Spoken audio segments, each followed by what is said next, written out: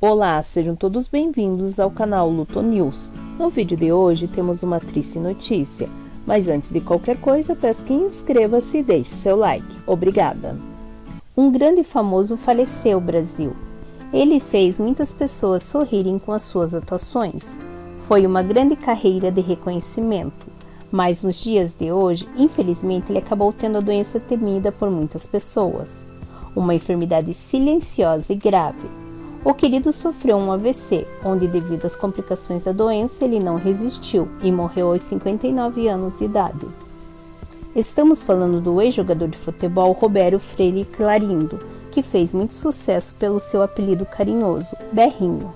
Na carreira, ele ficou famoso por ter atuado como meio-campista no clube de futebol Asa de Arapiraca.